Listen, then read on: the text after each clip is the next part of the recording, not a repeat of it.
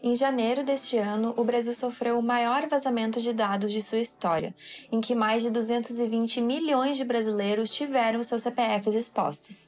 Mesmo após a criação da Lei Geral de Proteção de Dados Pessoais, os brasileiros ainda não possuem uma forma de saber se tiverem seus dados expostos antes de serem lesados. O TV Campus Entrevista de hoje debate a proteção de dados na internet.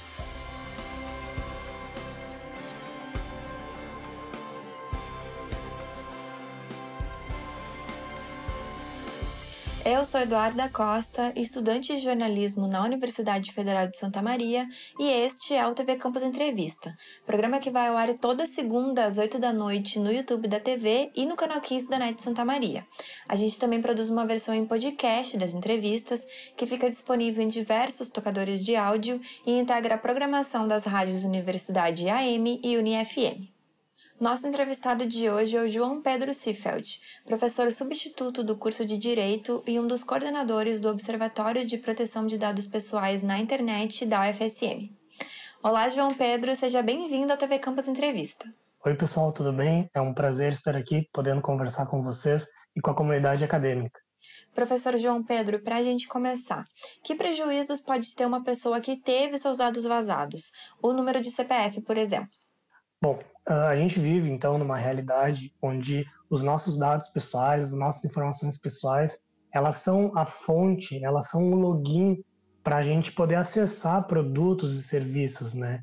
Então, uh, cada vez mais se torna importante nós sabermos lidarmos com os nossos dados pessoais e com eventuais vazamentos uh, desses dados, porque podem acarretar aí uma série de consequências, né? como o mau uso ou então o uso ilícito desses dados por parte de pessoas mal intencionadas ou por parte de sistemas de informação uh, mal intencionados. Então a gente precisa uh, cuidar uh, e, e, criar essa, essa, essa inteligência sobre os nossos dados, sobre esse poder em relação à nossa privacidade e se apropriar então desses mecanismos, desse, desses conhecimentos, para que cada vez mais a gente possa então entender como que os nossos dados circulam na internet ou circulam nessa sociedade em rede onde né, os produtos e serviços estão uh, conectados. E que medidas práticas as pessoas podem tomar de cuidados na internet para prevenir a exposição de dados pessoais? Existem uma série de medidas que as pessoas precisam começar a adaptar uh, e precisam começar a utilizar para se cuidar né, ao navegar na internet. Isso já eram uh, informações que a gente já passava muitos anos atrás, mas cada vez agora tem uma força maior em razão da multiplicidade desses, desses dados e dessas informações pessoais. Então, cuidar os links que são, uh, que são clicados, né? conferir sempre a fonte da informação que chega pelo telefone celular, que chega pelo e-mail, verificar ali se tem o certificado de segurança no site, uh, conferir quais são uh, as informações que estão sendo coletadas, que estão sendo registrados por determinados aplicativos ou por determinadas informações e qual a finalidade dessas informações. Então, saber, por exemplo, assim, para que, que eles precisam de uh, o número do CPF, o número do RG, o número de, do cartão de crédito, né? Então, saber, eh, tentar entender o negócio e, e também tentar entender né, a necessidade de transposição desses dados, de fornecimento desses dados. E aí, claro, se utilizar daquelas, daquelas regras bem clássicas de navegação na internet, de navegação segura né, na internet. E professor João Pedro, sobre a Lei Geral de Proteção de Dados Pessoais que entrou em vigor em 2020, como ela ampara as pessoas que tiveram seus dados vazados? Bom, a Lei Geral de Proteção de Dados Pessoais, a LGPD, ela é um marco normativo aqui no Brasil, porque ela inaugura então o regime jurídico do direito à privacidade, do direito à proteção de dados pessoais. Não é como se não existisse antes no Brasil, mas agora a gente tem uma legislação especial sobre isso que vem então a amparar os usuários uh, durante a navegação na internet, mas não somente a navegação na internet, também em todos os fornecimentos de, de dados pessoais. A, a LGPD ela traz uma série de direitos para o usuário, mas também uma série de deveres para aqueles controladores ou para aqueles operadores, ou seja, as pessoas que tratam os nossos dados pessoais no fornecimento de produtos e serviços, que precisam então respeitar, sob pena então de ser caracterizada alguma infração à legislação. Uh, existem vários métodos que a gente pode uh, se utilizar para denunciar ou para ir atrás dos nossos direitos. O primeiro deles, uh, em primeiro lugar, é sempre falar com o próprio operador e com o próprio controlador do tratamento de dados pessoais, que a própria empresa ou aquela pessoa física que está realizando aquele tratamento de dados, ela tem que estar tá preparada para tirar todas as nossas dúvidas e também para nos explicar o que está acontecendo com os nossos dados. É uma obrigação da empresa agora prestar essa informação, essa transparência ativa e também nos ajudar a, a solucionar nossas dúvidas. Logo depois a gente tem, obviamente, os órgãos de proteção ao consumidor.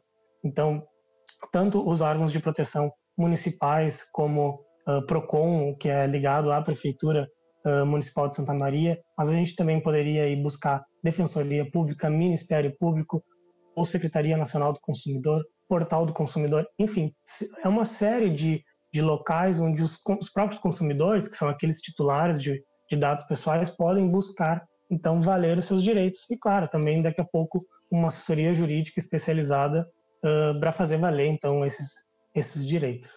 E o que mais a lei de proteção de dados prevê de garantia aos cidadãos? Por exemplo, qual é a punição da pessoa ou da empresa responsável pelo vazamento dos dados? Bom, a gente precisa entender, em primeiro lugar, que às vezes a empresa pode nem ser a responsável pelo vazamento de dados, ela pode até não ter culpa porque sofreu então um ataque cibernético de outro de outro uh, outra pessoa responsável, de outra pessoa mal intencionada, mas mesmo assim ela pode acabar respondendo por isso em razão né, dessa proteção especial que os titulares de dados pessoais possuem. Então a gente precisa pensar, não é, o, não é somente o hacker que pode ser responsabilizado, mas às vezes a empresa mesmo por não ter uh, criado as condições e por não ter minimizado os danos, ou por não ter nem sequer avisado o consumidor que houve aquela violação dos dados, ela também pode ser uh, uh, punida, né? ela também pode ser responsabilizada. E aí a legislação ela vai trazer uma série de punições, desde uma multa, né? uma multa que pode variar aí com o faturamento anual dessa empresa, até daqui a pouco o bloqueio do uso de dados pessoais, bloqueio do, da base de tratamento. Então, imaginem uma empresa que lida com um banco de dados não pode utilizar por seis meses esse banco de dados. Ela quebra, ela fecha. E além do mais, claro, existe, existem também outras punições, como, por exemplo, a divulgação dessa infração. Então, a empresa vai acabar perdendo uh, valor do mercado, né? Ela sofreu um ataque, então ela se tornou uma, uma empresa vulnerável, uma empresa que não respeita os direitos e garantias fundamentais de proteção de dados. Então, enfim, existem uma série de, de, de punições que a legislação uh, traz e que cada vez mais serão aplicadas, isso tudo em ordem uh, administrativa, né? Isso tudo em ordem assim de, de fiscalização ou de órgãos de correção, de aplicação de, de, penalidade, porque também pode existir alguma penalidade, daqui a pouco judicial. Né? A empresa pode ser condenada ao pagamento de danos materiais, ao pagamento de danos morais, ao pagamento de alguns danos específicos sobre aquela violação uh, dos dados pessoais do usuário. E sobre essa reparação de danos causados, onde e como as vítimas podem fazer para denunciar e buscar reparação? A gente ainda está no momento de adequação da lei. Né? Ela é uma lei de 2018, que foi publicada em 2018, mas ela recém entrou em vigor em 2020 e ainda a gente está vendo como que ela vai acontecer na prática. A gente tem agora uma grande estrutura que é a ANPD, a Autoridade Nacional de Proteção de Dados Pessoais, né, que é a agência brasileira responsável, então, por fiscalizar e aplicar a LGPD no Brasil. Ela está se estruturando, a gente ainda não sabe como é que ela vai se estruturar de forma capilar pelos municípios e pelo Estado, mas por enquanto ela tem sede lá em Brasília e ela atua lá em Brasília. Enquanto isso não acontece, enquanto essa agência ela não se, se multiplica em várias fontes, em várias em várias uh, entidades, né? A gente pode procurar então os próprios órgãos de proteção ao consumidor, como é o, por exemplo, como é o exemplo do Procon, né? Para fazer então alguma denúncia ou pedir alguma uh, explicação ou alguma ou que seja tomada alguma medida. E claro, daí daqui a pouco alguns outros órgãos auxiliares da justiça, como o Ministério Público, a Defensoria Pública ou até uma assessoria jurídica especializada. Professor João Pedro, para a gente finalizar, durante o seu mestrado na Espanha, você acompanhou a implementação da Regulamentação Geral de Proteção de Dados Europeu, que acabou inspirando a lei brasileira. Que preocupações de lá que a nossa legislação não ampara e que poderiam ser aplicadas aqui?